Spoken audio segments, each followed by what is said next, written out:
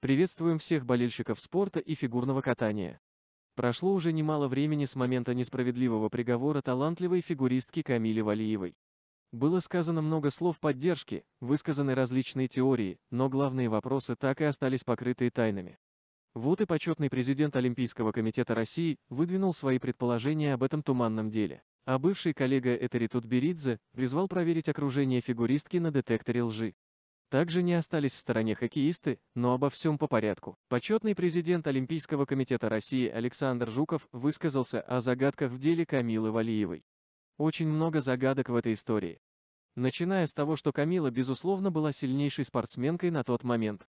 С Аней Щербаковой они были на голову выше всех соперниц. С этой точки зрения история с допингом непонятна.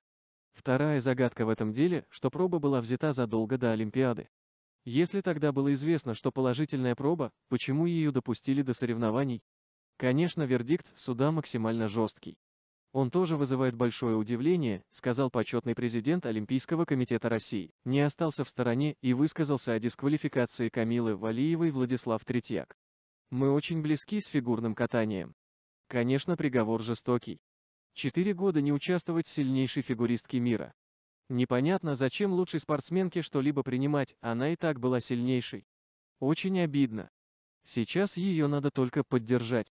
Мы, хоккеисты, поддерживаем ее и приглашаем на мероприятие.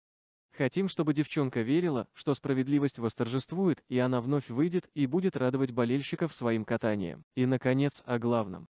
Экс-хореограф группы Тутберидзе призвал к проверкам на детекторе лжи в деле Валиевой.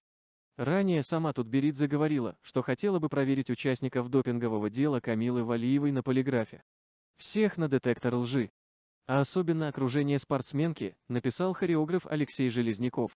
«Копайте внутри», — добавил он в комментариях, доступ к которым сейчас ограничен. Дорогие друзья, как вы думаете, стоит ли проверять окружение Камилы Валиевой на детекторе лжи? Поделитесь мнением в комментариях.